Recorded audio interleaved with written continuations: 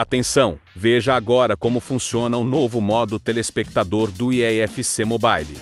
Bem, primeiramente o que vocês têm que saber é que só dá para telar as partidas de membros da sua liga, e funciona da seguinte forma: um membro tem que clicar aqui em jogar partida. Quando aparecer a solicitação aqui, outro membro tem que aceitar, e para você telar a partida, é só clicar nesse óleo, que vai dar para ver a partida ao vivo. E não se esqueça de clicar no link da minha bio, para retirar os lags do seu IAFC. E é assim que faz para telar a partida rapaziada, lembrando que também tem algumas opções de câmeras que você pode escolher, que são a câmera 1, câmera 2, câmera 3, câmera 4 e a câmera 5. Também pode escolher o cursor de quem você quer ver, e tem como ativar o radar, a narração e os efeitos sonoros. E é assim que funciona o modo telespectador rapaziada. Gostaram? Eu particularmente gozei bastante.